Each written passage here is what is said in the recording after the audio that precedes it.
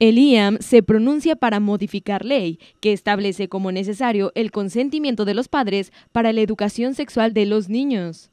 El Instituto Aguascalentense de las Mujeres, IAM, solicita al Congreso local la reconsideración de lo establecido en el artículo 40 de la recién aprobada Ley de Educación, que establece la condición de que los padres deben otorgar consentimiento previo para que los estudiantes participen en cursos de sexualidad y moralidad.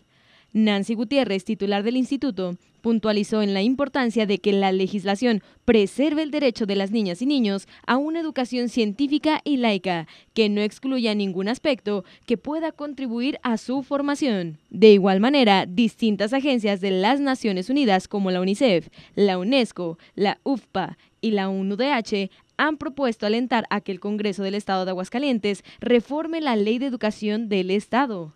Detalló que el contenido de esta reforma vulnera los derechos de los niños al someter a consideración de cada padre de familia la asistencia o no de las actividades escolares sobre la educación sexual y moral. Desde la dependencia se seguirá señalando cualquier asunto que transgreda la igualdad de derechos de las personas. Con imágenes edición de Yamil López para Informativo, Cindy García Hurtado.